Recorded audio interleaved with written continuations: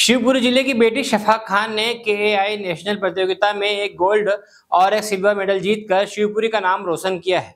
शफाक खान ने जानकारी देते हुए बताया कि 16 से 18 अगस्त को हरियाणा के पंचकुला शहर में ताऊ देवीलाल स्टेडियम में कई नेशनल प्रतियोगिता का आयोजन हुआ, जिसमें राज्य स्तरीय प्रतियोगिता में जिन खिलाड़ियों ने गोल्ड मेडल जीता था, उनका चयन हुआ था। इसके बाद मैंने इस प्रतियोगिता में एक गोल्ड तो एक सिल्वर मेडल जीतकर शिवपुरी का नाम रोशन किया है। बता दें कि शफाक खान एक गरीब घर से है और उसके पिता कपड़ों की दुकान पर काम करते हैं। शफाक खान ने इसका श्रेय अपने कोच समीर खान सहित परिवारजनों को दिया है। शिवपुरी से यूसुफ खान की रिपोर्ट।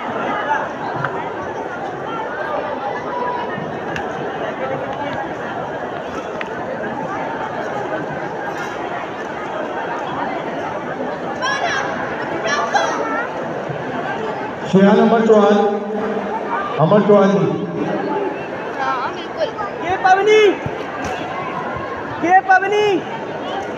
तो बेटा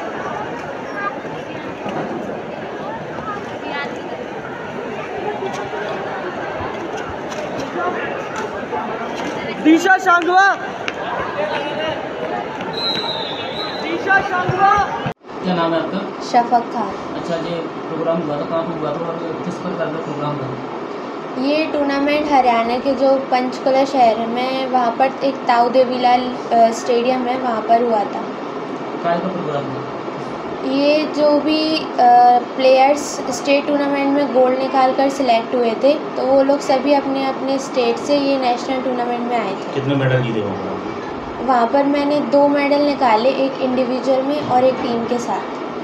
तो जी किस प्रकार का प्रोग्राम कार्यक्रम था? जैसा क- कराटे है और कई प्रकार के और भी है किस प्रकार का था? ये कराटे टूर्नामेंट था जो कि 16 तारीख से 18 तारीख तक हुआ था और जो भी प्लेयर्स हैं जो सिलेक्ट हुए थे गोल्ड मेडल के साथ सिर्फ़ वही आए थे नाम है आपकी टीम का? नाम बताओ आपके कोच का नाम।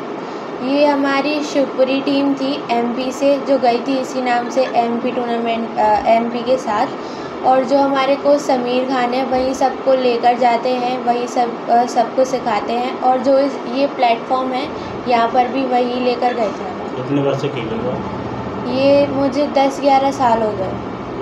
कितनी उम्र से खेल रही हो? छः।